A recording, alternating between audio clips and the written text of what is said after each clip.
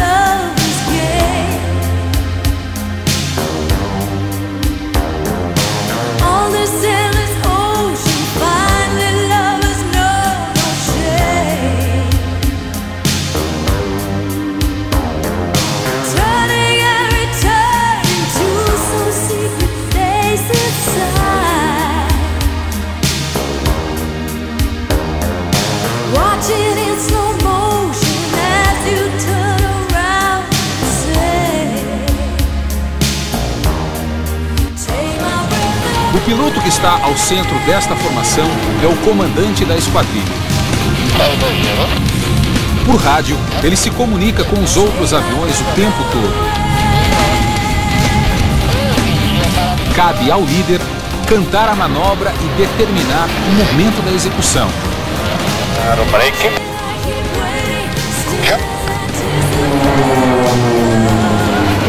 Durante o treinamento, os pilotos cumprem uma sequência de manobras que foi discutida antes da decolagem. Quando o homem e a máquina são levados ao limite, não sobra espaço para o erro.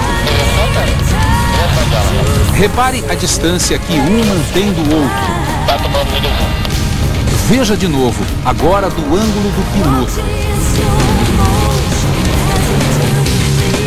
Em algumas acrobacias, as aeronaves parecem estar em rota de colisão.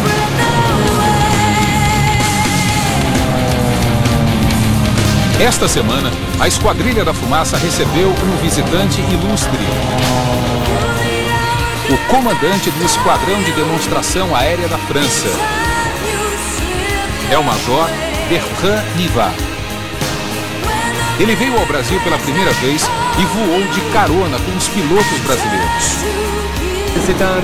O comandante Nivat disse não acreditar numa très das acrobacias que viu. conhecida como Tunô com alas invertidos. Os pilotos da ponta, os alas, voam de cabeça para baixo. Sob o comando do líder, os quatro aviões fazem um giro de 180 graus. E depois mais um giro, fechando a manobra. mais faire un tonneau, c'est incroyable. Voar de cabeça para baixo, o chamado voo de dorso, é uma das especialidades da Esquadrilha da Fumaça do Brasil. A técnica exige muito do piloto. É onde que é a inversão do raciocínio com o uso do- dos comandos. Se eu quero ir para a direita, eu tenho que jogar meu manche para a esquerda. Principalmente que a gente vai estar próximo ali do outra aeronave e a gente tem que estar raciocinando rápido nesses usos do comando. Para ter uma noção do que se passa com o piloto quando ele está voando de cabeça para baixo, não tem outro jeito. É só voando com ele. É o que a gente vai fazer com o capitão Emerson Braga, que tem mais de mil horas de voo só aqui na Esquadrilha da Fumaça. Capitão, bora? Estamos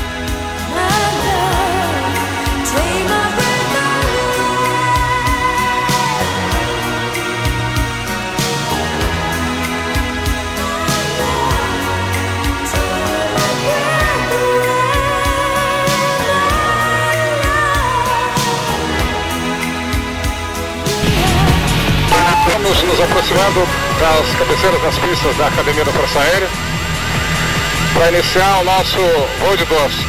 Vamos lá. Neste exato momento, a nossa velocidade é de 450 km por hora. Fazemos o voo de dorso a cerca de 70 metros do solo. Iniciando o meio looping. Pressão intensa. Nivelado.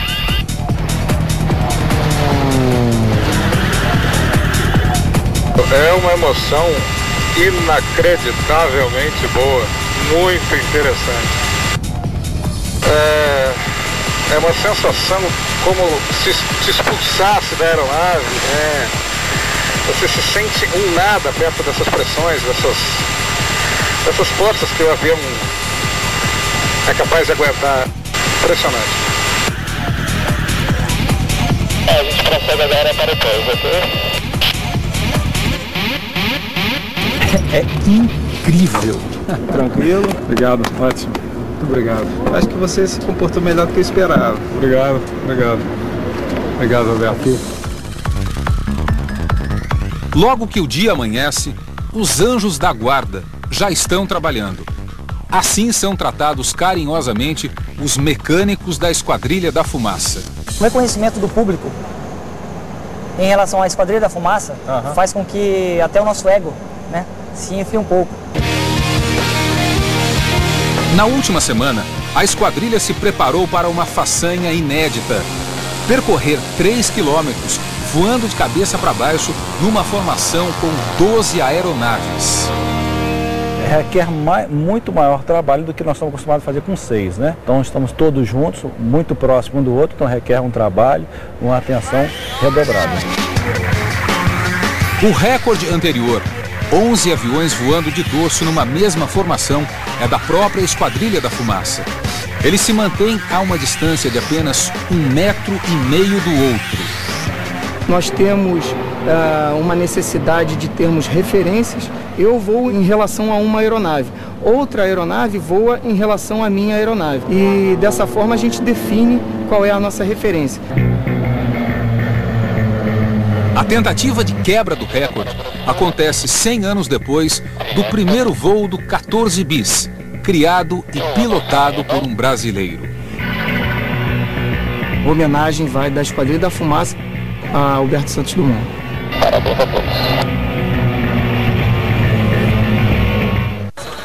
Mas ainda não é hora de comemorações. Afinal, falta bater o recorde. Para quebrar o recorde, a esquadrilha, que tem 11 pilotos, precisou chamar mais um. Um ex-integrante que fez um treinamento intensivo nas últimas semanas só para esse dia tão especial. O Major Gobert se desligou do grupo em 2003 e voltou em grande estilo. Lá vem eles!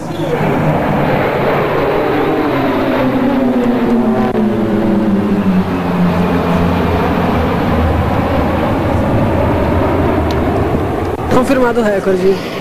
12 aeronaves de ponta cabeça no ar. Foi mó da hora, filho. Os aviões, nossa, parece que vai cair. Um vai pertinho do outro ali. De volta ao chão, fotos, abraços, autógrafos.